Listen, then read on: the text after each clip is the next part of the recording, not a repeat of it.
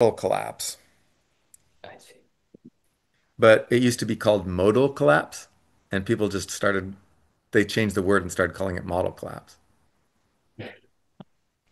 But anyway, Mhm. um, yeah.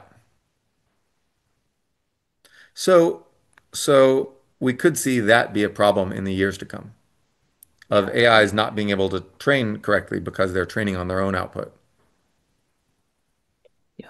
Totally.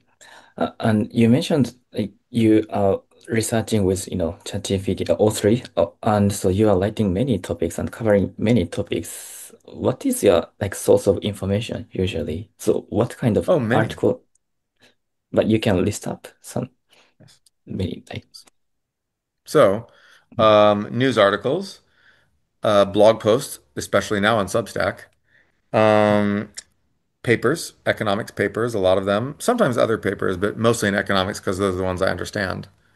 Um, sometimes Twitter, although it's getting much worse, so now I don't use it much.